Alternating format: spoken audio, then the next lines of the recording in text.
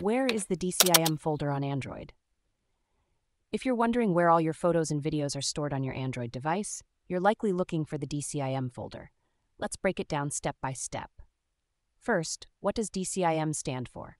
It's short for Digital Camera Images, a standard name used by digital cameras and smartphones to store your photos and videos.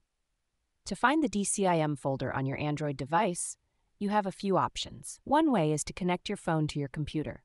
Here's how you do it connect your Android phone to your computer using a USB cable. On your phone, tap the Transfer Photos or Transfer Files option. On your computer, press Win E to open File Explorer. Look for the Android device icon on the left panel, then click on Internal Storage. Inside the internal storage, you'll see the DCIM folder. If your photos are stored on an SD card, the path will be slightly different. You can either connect the SD card to your computer using a card reader or check it directly on your phone. On your phone, the DCIM folder can be found in two possible locations. If the photos are stored on the phone's memory, the path is slash storage slash EMMC slash DCIM. If the photos are stored on an SD card, the path is slash storage SD card slash DCIM. To access these folders on your phone, it's helpful to use a file manager app like ES Explorer or Total Commander. These apps make it easier to navigate through your phone's files and folders.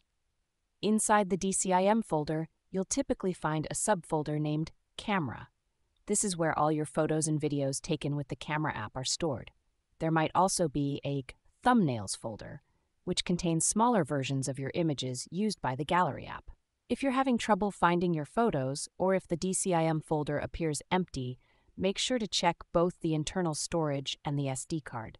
Sometimes, photos might be stored in one location but not the other. You can also try clearing the cache from the external storage and media storage apps to resolve any issues. In summary, the DCIM folder on Android is where all your camera photos and videos are stored. You can find it by connecting your phone to a computer, using a file manager app, or checking the internal storage and SD card directly.